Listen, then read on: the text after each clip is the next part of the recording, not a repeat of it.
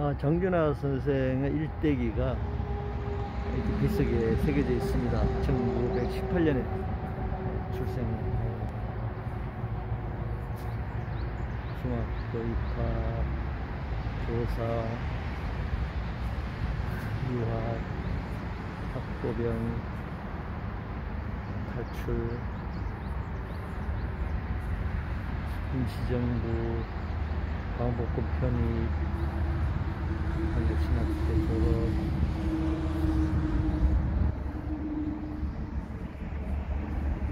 올간지 사상 발간,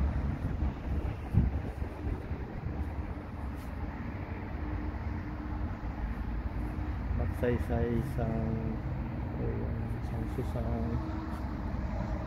한일 권력 외교, 정권 비판, 1966년 구속, 자스린 돌베개 출판, 시아의 소리 편집위원 활동,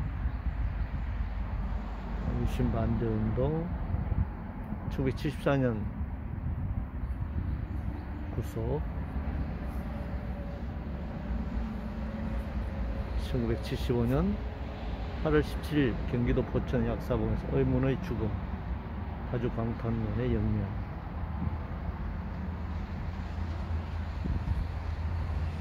장전하 선생이 걸어온 길.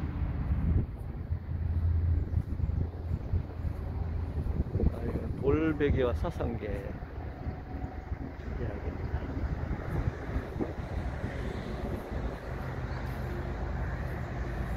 정전화 공원을 만들며 파주는 항전의 땅입니다. 역사를 거슬러 오르면 상무시대부터 삶의 터전을 지켜내려는 사투가 있었고 6.25 전쟁에서도 자유를 수호한 도시입니다. 분단의 역사, 적병 도시는 아직도 현재 진행 중이지만 역동적인 모습으로 평화로운 미래를 열어갑니다. 장준하 수정은 항일 독립운동에 투신했으며 사생애를 발간해 지식인의 등대 역할을 했습니다. 우리나라 민주주의를 바로 세우고자 온몸을 불살랐으며 분단된 조국의 평화 통일에 헌신했습니다. 일본에 빼앗긴 나라를 되찾고자 구국 길에 올랐던 정의로서의 푸른 의지를 파주에 다시금 살립니다. 오늘 우리가 누리는 자유가 결코 그저 얻어지지 않았음을 파주에서 가르치고 일깨워 나가겠습니다. 연구 없이 묻혀 있었던 파주 광탄 나사렛 공원 묘지에서 이곳 통일동산으로 신이용 수많은 호국 영명의 선생의 안타까운 영혼을 부른 때문입니다.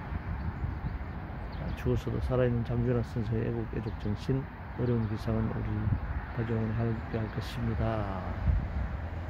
어, 파주 시장 이렇게 만들고라는 글을 이렇게 새겨두었습니다. 뭐 여러 가지 역사적 판단, 비평, 평가를 할 수 있을 것 같습니다. 여기는 저 건너편에 울산 통일 전망대가 바라보이는 장윤학 공원이었습니다.